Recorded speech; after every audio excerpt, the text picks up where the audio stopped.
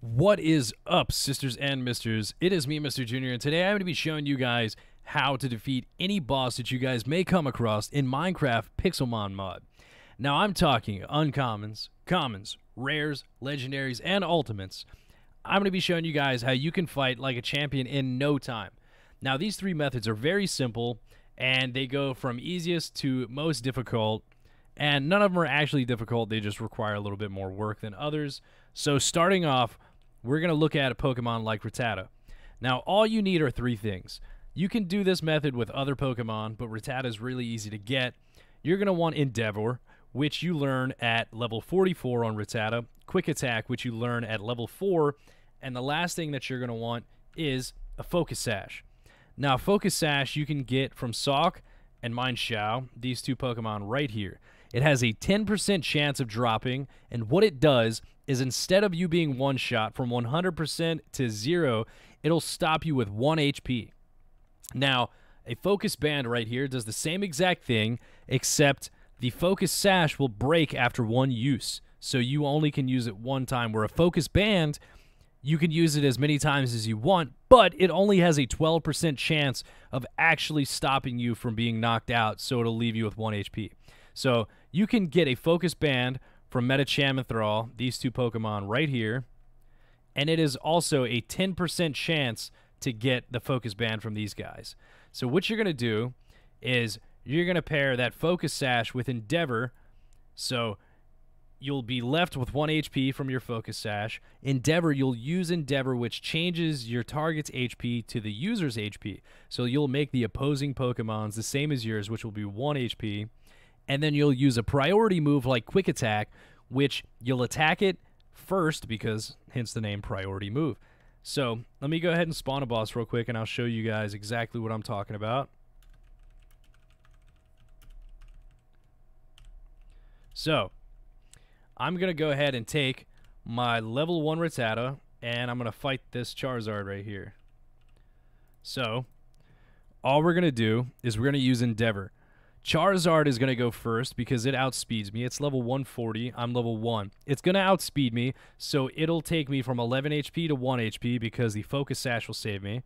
And I'm going to use Endeavor because I want to make his HP equal the same as mine. So I'm going to use Endeavor because he's going to put me down on 1 HP. Then my move is going to go into place. So I'm going to use Endeavor, which is going to put his HP on 1. And now that we're on turn 2, I'm going to use Quick Attack, a priority move, which is going to attack first, and boom, my level 1 Rattata just defeated a 140 Mega Evolved Charizard boss. Now, it's that simple. You can do that with anything. It's not just a boss. But again, I'm showing you guys how to use these methods to defeat boss Pokemon. Okay, you guys, the second method I'm going to be showing you guys in this video today is similar to the first, but not quite as painful, I guess. So what you're going to want to do is get yourself a Pokemon that can learn the ability Sturdy. Now, I like Aron the best, so Sturdy, it stops you from being able to be knocked out with one hit, very similar to Focus Sash or the Focus Band. So, you're going to get Sturdy, and you're going to pair it with a move like Endeavor. Now, Endeavor, the only way that you can get Endeavor is by egg training it onto an Aron, and I have a video that tells you all about breeding and how to do any of that stuff. I've been told it's the best video on YouTube for breeding, so go check it out. I'd recommend it. And then you're going to want any type of damaging move like Tackle. Aron does not learn a priority move, but with the held item, the Shell Bell, which you can get from Cloyster and Samurott, Hisuian Samurott also, you have a 30% chance of getting it from Cloyster and a 10% chance of getting it from Samurott. So these are the two Pokemon you'll be looking for for that method. And what the Shell Bell does is it'll heal one eighth of the damage that you received during your last hit. So because of how strong this Charizard is, it'll do way more damage to me than my Aron can even handle. So it'll heal me back to full, basically. So I'm going to go in here and I'll show you this fight. So Aron's out here. I'm going to use Endeavor because he's going to attack first because he outspeeds me. So my HP is going to go from 12 to 1, and then it'll be my turn, and then my Endeavor will go off, which will make his HP 1 also. Boom, sturdy, 1 HP. Now I used Endeavor. Now he's got 1 HP. And now you see I have full HP now because the Shell Bell just took effect and it restored one eighth of the damage I just took. So he does way more damage than I even have his HP, so it'll heal me all the way up to full. So now that I'm back up to full HP, my sturdy will take place again, which is why you don't need a priority move. So I can use tackle, and boom, Dragon Rage. I live with 1 HP again because of sturdy. I use tackle, boom, I just knocked out that ultimate boss. A level 1 Aron just defeated a level 140 Charizard. Very simple. Very easy. You guys can go ahead and fight these bosses like a pro.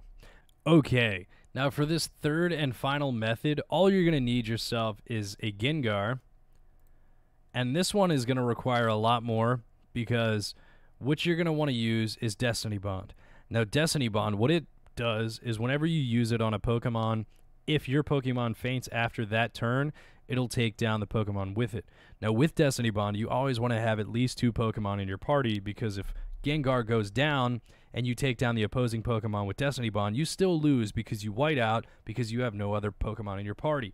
So you want to have at least two Pokemon so that way you don't automatically lose once your Gengar goes down. You're also going to want to have the highest speed stat that you can get. Now, personally, I like this method the most because Gengar is one of the fastest ghost type Pokemon that you can get, and he also Mega Evolves. So, I have this Gengar 100% IVs, and I have him EV trained in speed along with a speed nature. Now, if you guys don't know how to get strong Pokemon like that, again, I suggest checking out my breeding video because I will teach you how to get the very best Pokemon that you can possibly get in Pixelmon or Pokemon in general for that matter. So, we have a fast Gengar, and to make it even better, I have a Gengarite, which allows me to Mega Evolve, and which will increase these stats even more. So all I'm going to do is I'm going to go ahead and I'm going to call in one of these bosses. I'm going to call in one of these bosses. I'm going to throw out Gengar. I'm going to fight, and I'm going to use Destiny Bond. Destiny Bond goes off. I didn't even have to Mega Evolve. Gengar's trying to take down its opponent with it. Charizard one shots Gengar. Gengar takes down Charizard with him. Boom. I just defeated him. Easy as pie. Or cake, whichever you like better. But that's how it's done. So I just defeated three bosses with two level 1 Pokemon and then a ghost type that took one move. Now, again, the Gengarite, if you Mega Evolve, it makes your speed even faster, so you're even more likely to get that move off. But all very simple methods.